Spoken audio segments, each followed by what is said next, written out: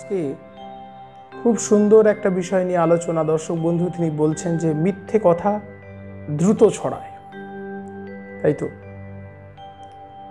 সত্যি, এই কথাটা একদম, এটা মিথ্যে কথা দ্রুত ছড়ায়, এটা সত্যি।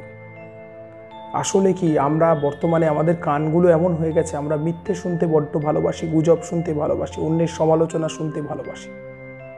এই জন্যই দ্রুত ছড়ায়, আমরা কম বেশি সমালোচনা শুনতে ভালোবাসি, করতে ভালোবাসি। আমাদের কানগুলোই এমন হয়ে গেছে, মুখগুলোই এমন হয়ে গেছে। আমার মনে হয় যে প্রতিটা এলাকায়, প্রতিটা জায়গায় অন্যের সমালোচনা করা একটা ধর্ম পিএনপিসি পরনিন্দা, পরচর্চা করা লোকের অভাব এই যে মিথ্যে কথাগুলো দ্রুত রটায় আমি বলি, আমি তখন স্কুলে পড়ি। সেই সময় আমি যে মাস্টারমশাইয়ের কাছে পড়তাম, তিনি বিনা বেতনে শিক্ষাদান করতেন।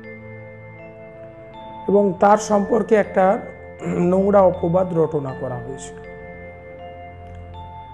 এবং করলেন কি মানে যারা তাকে তাকে কাছ থেকে জানতেন, তারাই জানেন যে তিনি কতটা উদার, কতটা মহান। কিন্তু যারা বেতনভোগী শিক্ষক প্রাইভেট টিউশন করেন, তাদের পসারে আঘাত করতে শুরু করল। তখন তারা কি করল? তার নামে একটা নানা রকম অ্যালিগেশন দিতে শুরু করল।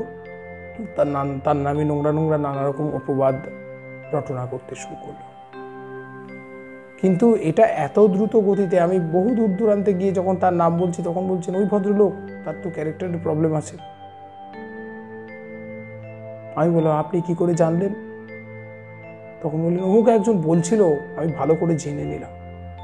সকলকে যাতে সাবধান করতে পারি। দেখুন, একটা ভালো কথা ছড়াতে কিন্তু ছড়ায় না, কখন। কিন্তু নিন্দা, বদনাম, সমালোচনাকারী লোক সবসময় সমাজের সর্বস্তরে বাস করে। তারা হচ্ছে মাছির মতো। মাছি যেমন নোংরা বিষটার উপর বসে। তারপর কি করে?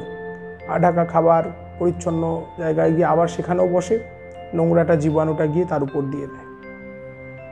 এদের কাজ হচ্ছে সেই জিনিস। ভালো জিনিস সঞ্চয় করে না, এরা শুধু খারাপটুকু সঞ্চয় করে নিয়ে গিয়ে অন্যত্র বিতরণ করে।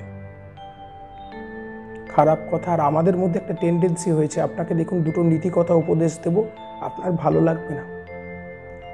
কারও একটু পিএনপিসি পরচর্চায় বলছি না, অনেকে সমালোচনা করে না, কিন্তু সমালোচনা শুনতে খুব খুব ভালোবাসে। আপনি সঙ্গে সঙ্গে উদ্গ্রীব হয়ে থাকবেন, তারপর তারপর, আপনি এটা দেখবেন লক্ষ্য করে এই জন্যই মিথ্যে কথাটা দ্রুত ছড়ায় আর বিকৃত হয়ে যায়। বিকৃত হয়ে যায়, আসল বিষয়টাই বিকৃত হয়ে যায়। এই জন্যই মিথ্যে কথা দ্রুত ছড়ায়। আর আমি বলব, আপনি আপনার নামে সমালোচনা শুনেছেন, আপনার নামে মিথ্যে কথা শুনেছেন, এরপর নিজেকে ঠিক রাখা, এটাই আসল কথা। কি করবেন? আপনি আপনার নামে মিথ্যে, আপনার নামে চারিদিকে মিথ্যে ছড়াচ্ছে।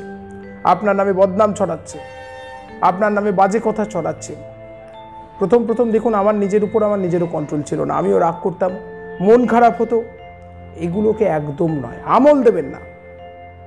এগুলোকে একদম আমল দেবেন না। সক্রেটিস কি তার সত্য থেকে সরে এসেছিলেন? তার উপর তো অত নির্যাতন হলো। কোপার্নিকাস সরে এসেছিলেন? সরে আসেননি। আমি যে পথে চলছি, আমি যদি ঠিক হই কে কি বলল সেটা নিয়ে ভাবতে চাবো না। সোজা আমি আমার পথে চলতে থাকব, সময় সঠিক সিদ্ধান্ত নেবে। এইভাবে এগিয়ে চলো। আজকে এখানে শেষ করছি। আবারও আলোচনা হবে। সঙ্গে থাকুন।